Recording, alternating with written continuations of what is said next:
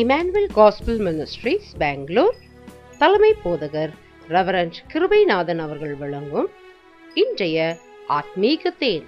அன்பானோரே இயேசு கிறிஸ்துவின் நாமத்தினால் உங்களை வாழ்த்துகிறேன்.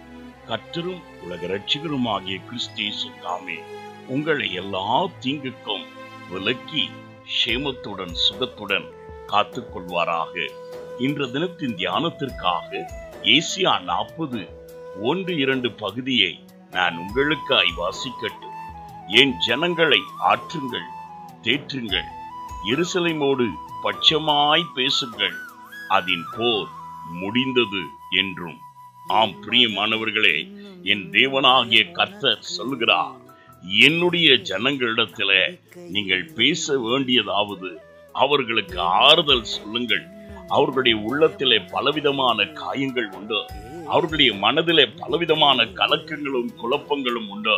ஆனபடியால் என் ஜனங்களை நீங்கள் ஆற்றுங்கள். அவர்கள் எதிலெல்லாம் சோர்ந்து போயிருக்கிறார்களோ அதிலே தேற்றுங்கள். அவர்களுடைய வாழ்க்கையில அவர்களுக்கு பட்சமாய் நீங்கள் சாய்ந்து பேசுகிறவர்களாய் இருங்கள் என்று சொல்லுகிறார். காரணம் என்ன? கடந்த நாட்களில் காணப்பட்டதான பலவிதமான நெருக்கடிகளின் நிமித்தம் குழப்படிகளின் நிமித்தம் உள்ளத்திலே ஆவியில் காணப்பட்டதான பல கலக்கங்கள்.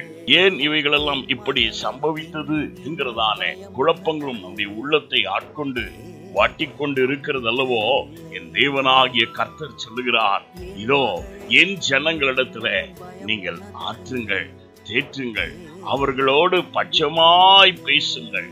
இனி அவர்களுக்கு விரோதமாய் பொல்லாங்கன் போர் செய்கிறவனாய் இருக்க மாட்டார் இது வந்த எல்லா தீங்குக்கும் முடிவு உண்டாயிற்று. ஆனபடியாலே சகல ஆறுதலின் தேவன் தாமே. இந்நாளிலே உன் தேவனாகிய கர்த்தர் தாமே. உன்னை ஆற்றி தேற்றி அரவணைத்த வழி நடத்துவாராக. நான் உங்களுக்காய் ஜெபிக்கட்டும். எங்களை அதிகமாய் நேசிக்கும் அன்புள்ள பிதாவே.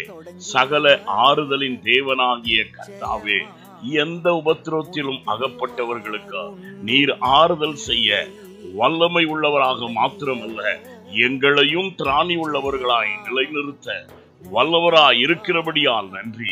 இந்நாளிலும் ஆண்டவரக உடைய பிள்ளைகளுடைய உள்ளத்தில் இருக்கிற எல்லா மனக்காயங்களையும் மாற்றி அவர்களுக்குள் இருக்கிற எல்லா பயத்தையும் எல்லா சந்தேகத்தையும் நீக்கி போட்டு அவர்கள் பட்சமாய் பேசி விரோதமாய் எழும்புகிற எல்லா போர்களை நிறுத்தி போடுவீராக இயேசுவின் நாமத்தில் பிதாவை ஆமேன் God bless you and fill you with his comfort.